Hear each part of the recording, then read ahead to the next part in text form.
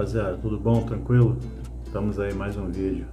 Seguinte, vamos voltar aí mais ou menos falar daquela situação dos carros, é, dos Dodge, né, dos carros dos, anos 70, né, que tiveram aquela valorização nos anos, na virada dos anos 90 para os anos 2000.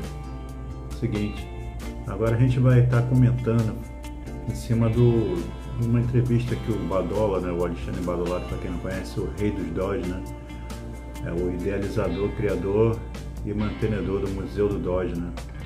Então a gente vai estar falando do ponto de vista dele com relação àquele momento, naquela virada, né?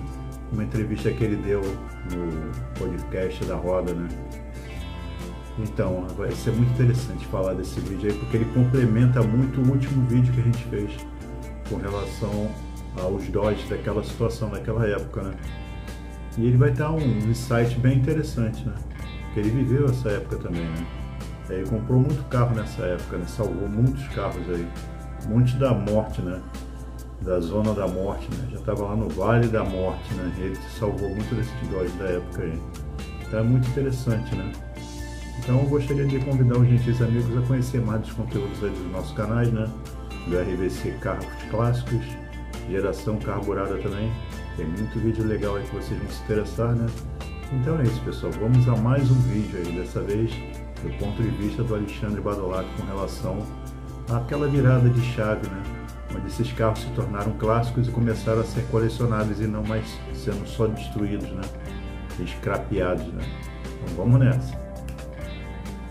O que mostra muito isso é a sobrevivência dos dojões por época, né?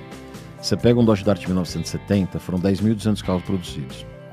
Hoje a gente não conhece 200 sobreviventes, ou seja, 2%. 98 virou prego, virou geladeira, lata de atum, sei lá o que. Aquelas picape que pegam papelão. É, é isso foi um, um, um, estágio intermediário. Ele vira picape e depois vira prego, né? Se você pega os últimos Magnum, o índice de sobrevivência é de 30%, 40%. Por que, que é tão mais?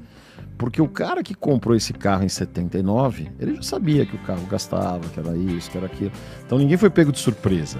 Já os primeiros não. Os primeiros depois da primeira crise do petróleo, e principalmente depois da segunda, o pessoal foi abandonando os carros. A gente viu os carros largados na rua. Eu vi esse ciclo, né? Eu vi o, o ciclo de. Eu, eu, vi o. Eu lembro dos Dojões sendo uma coisa super aspiracional um, um, um, carro que as pessoas desejavam e vi um momento seguinte que a gente via molecada em seis juntando dinheiro, comprando para sair de noite como se não houvesse amanhã, destruir o carro, largava em qualquer lugar, né? Anos 80 isso. Anos já, 80, né? é. Isso, anos 80 foi a época terrível, né? E, e, ainda começo dos anos 90 ainda a gente, a gente ouvia essas histórias. Aí a partir da segunda metade dos anos 90 e principalmente depois da virada do milênio, esses carros começaram é, a ter cada vez mais o interesse de coleção e aí acabou dando no que deu. Isso né? mais pela raridade, né?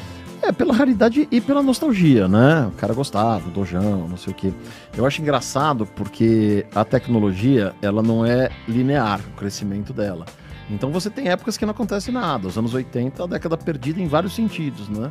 Inclusive, uma Malaysia Era, né? A era que os carros, os muscle cars americanos tinham 140 cavalos. Nossa, motor super estrangulado.